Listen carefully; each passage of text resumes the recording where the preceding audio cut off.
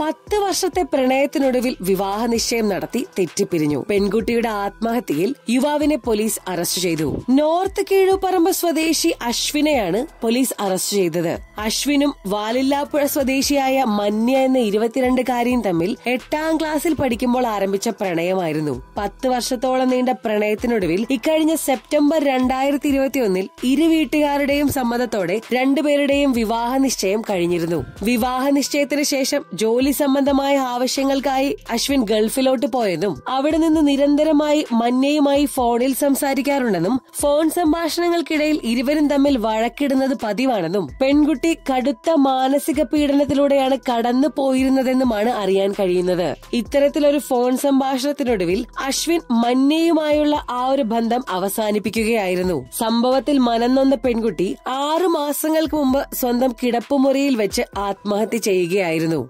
ഇരുവരും തമ്മിലുള്ള വഴക്കിന് ശേഷം അശ്വിൻ തന്നെയാണ് മന്യയുടെ വീട്ടുകാരെ വിളിച്ച് കാര്യം അറിയിച്ചതും പിന്നീട് അവർ നടത്തിയ അന്വേഷണത്തിലാണ് കിടപ്പുമുറിയിൽ പെൺകുട്ടിയെ ആത്മഹത്യ ചെയ്ത നിലയിൽ കണ്ടെത്തിയതും. മാനസിക പീഡനം ആത്മഹത്യ പ്രേരണക്കുറ്റം എന്നീ വകുപ്പുകൾ ചുമത്തിയാണ് ഗൾഫിൽ നിന്നും നാട്ടിലെത്തിയ അശ്വിനെ പോലീസ് അറസ്റ്റ് ചെയ്തത്.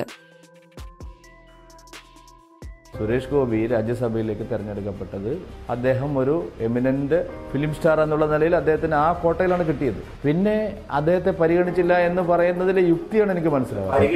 പിന്നെ എന്താണ്? വേണ്ടവണെന്ന് പറഞ്ഞാൽ നിങ്ങൾ പറയും ഒരു ഉദാഹരണം പറയും പറയും പറയും എന്താ? അല്ല ഞാൻ ആ അഡ്വൈസ് സ്വീകരിക്കാൻ തയ്യാറാണ് ഈ വേണ്ടവണ്ണം താങ്കൾ പറഞ്ഞില്ല അല്ല എന്താ ചെയ്യേണ്ടത്? പറഞ്ഞു. വേണ്ടവണ്ണം ഉപദേശ അദ്ദേഹത്തെ ഉപയോഗിച്ച ഒരു ഒരു ഉദാഹരണം പറയും ഇപ്പൊ ജലീൽ ഒരു മന്ത്രിയായിരുന്ന ആളാണ് എം എൽ എ ആയിരുന്ന ആളാണ്. അയാളെ ശരിക്കും ചെപ്പക്കുറ്റി അടിച്ച് പൊട്ടിക്കേണ്ടതാണ് അയാളെ. അയാളെ അടി കൊടുക്കേണ്ടതാണ് ശരിക്കും. കാരണം വെച്ചാൽ കേരള പോലീസ് കേസെടുക്കുന്നില്ല. ശരിക്കും അയാളെ കൈകാര്യം ചെയ്യേണ്ടതാണ്. പിണറായി വിജയൻ ഗവൺമെന്റ് എടുക്കുന്ന എല്ലാ നടപടികളും ജനവിരുദ്ധമാണ് അഴിമതിയെ പ്രോത്സാഹിപ്പിക്കുന്നതാണ് സദാചാര വിരുദ്ധമാണ്. അല്ല ഞാൻ ചോദിക്കട്ടെ ഇപ്പൊ ചുംബന സമരം നടത്തി ഈ നവോത്ഥാന വക്താക്കൾ ഞങ്ങൾക്ക് പിന്തുണയ്ക്കാൻ പറ്റുമോ? പശുക്കുട്ടികളെ കൊല്ല കണ്ണൂരിലും എറണാകുളത്തും പരസ്യമായിട്ട് കൊന്നിട്ട് നിങ്ങൾ കണ്ടതാണല്ലോ ഒരു പശുക്കുട്ടി ഇന്ത്യയിൽ എവിടെയെങ്കിലും അങ്ങനെ കൊന്നിട്ടുണ്ട്. ബീഫിന്റെ സമരത്തിന്റെ പേര് അല്ല ഞാൻ ചോദ്യം എന്റെ ചോദ്യം അതല്ല. ബീഫിന്റെ സമരം എന്ന് പറഞ്ഞാൽ പശുക്കളെ കൊല്ലാനുള്ളതാണ് ആര് പറഞ്ഞു അങ്ങനെ?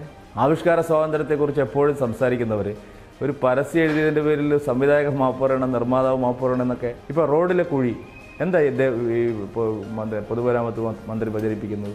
എല്ലാം കേന്ദ്രമന്ത്രിയുടെ ഉത്തരവാദിത്തമാണെന്ന്. ആണോ? റോഡ് അങ്ങ് ഉദ്ഘാടനം ചെയ്യുകയാണ് മുഖ്യമന്ത്രിയും മരുമാനും കൂടി. എങ്ങനെയാണ് അത് സാധിക്കുന്നത്? ടണലുകൾ അവരങ്ങ് ഉദ്ഘാടനം ചെയ്യുകയാണ്.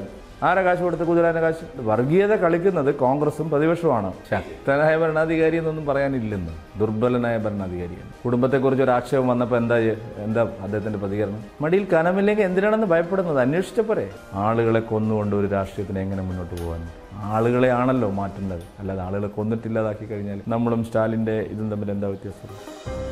ബി ജെ പി സംസ്ഥാന പ്രസിഡന്റ്